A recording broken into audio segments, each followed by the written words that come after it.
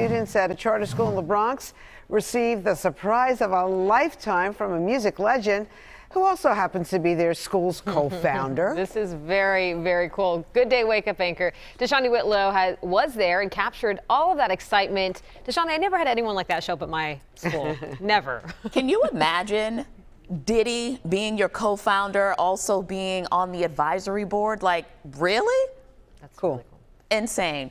Well, nonetheless, so also, ladies, I want to ask you this as well. Do you remember when the entertainment mogul ran the New York City Marathon?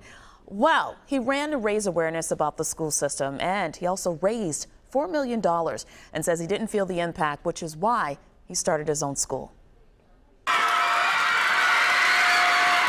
Hip hop mogul and co founder of the Capital Preparatory Bronx Charter School surprised and inspired his students Tuesday. Here, we're teaching y'all with intention to go out and to be leaders. Since donating $1 million to the school, which opened its doors in fall of 2020 during COVID, this is Sean Combs' first visit. This is truly the dream coming true, you know. Being, you know, in Forbes is, is, is not the dream coming true. Landing in the number 14th spot for one of the wealthiest entertainers this year.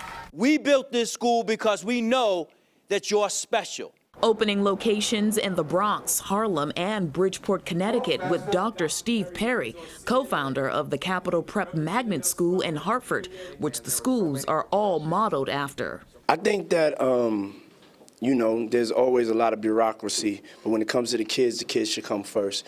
And instead of complaining about it, we wanted to do something about it. How did you develop your leadership skills? Okay.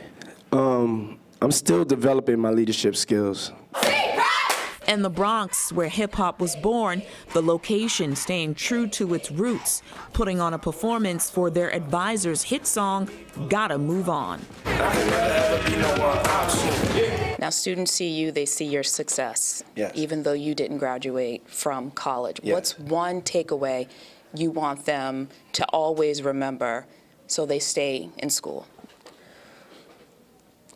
I think, you know, that in, in, in this life, that has to be a choice. Um, I think the most important part for us was our kids that were coming out, of our communities, they weren't even ready to go to college. They weren't even educated enough to go to college.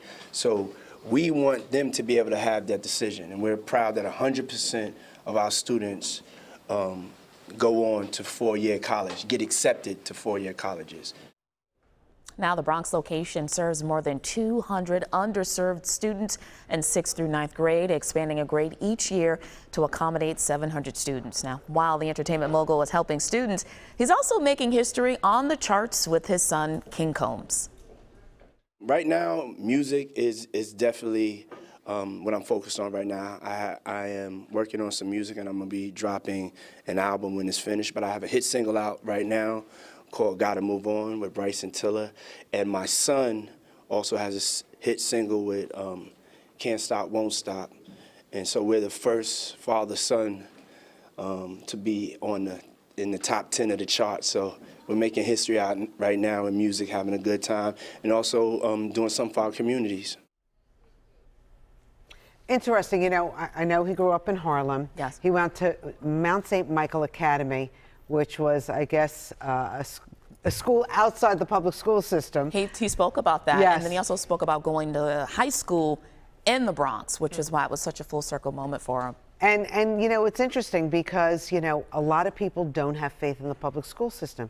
I guess he's one of them. He believes charter charter s- schools in certain areas need to be embraced so that these kids can get out of school and be ready for college. And he spoke on that. He said, you know what? Instead of complaining, let's just be about it. Let's create it. Yeah. Let's put our money where our mouth is. Did, is he uh, have any plans to run a second marathon? Maybe raise a couple more mills to fund another school? You know what's so funny, Bianca? He actually discussed that. He didn't talk about the marathon, but he said, hey, anyone that's out there who's wealthy and wants to help with these schools, hit him up. Hmm. So he's looking for donations. I know. Right. I mean, because when you think about there are thousands of thousands of kids that graduate from high school from our system, That report just came out from the state. which is terrible. How do we allow this to happen year after year and just say, oh no, we're going to fix it, we're going to fix it, and you don't?